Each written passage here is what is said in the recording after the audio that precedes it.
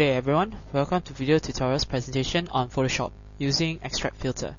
Now let's take a look at the Photoshop program itself. Okay, here I have a picture of a dog. We're going to extract this picture of the dog out from the background using extract filter. Okay, first thing we do, let's first duplicate the layer. So click and drag, duplicate the layer, or you can press Ctrl J to duplicate the current layer.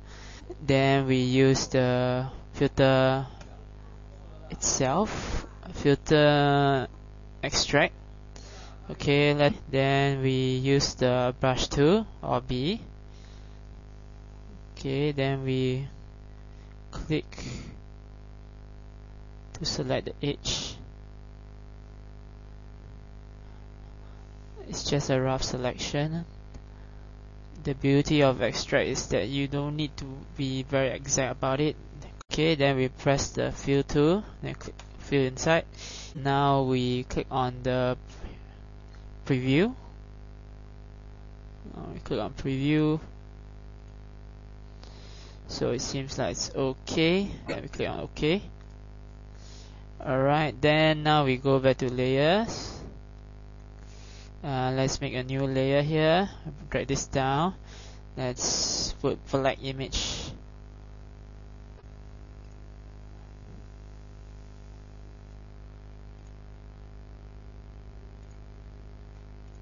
okay black.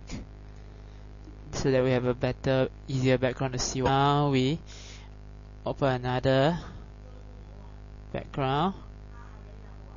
And then we move this background to here. Okay then we drag the back drag this background behind the photo and the selection. And here we have it. Uh, we have extracted the thing onto a different background